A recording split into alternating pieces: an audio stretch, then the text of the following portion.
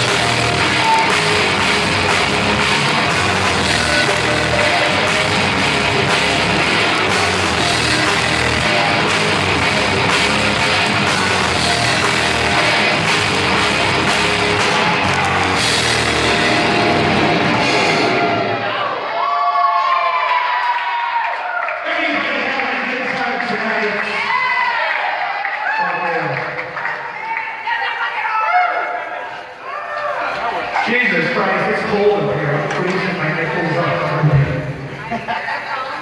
By the way, this is the last football show for about uh, six months. So next year sometime.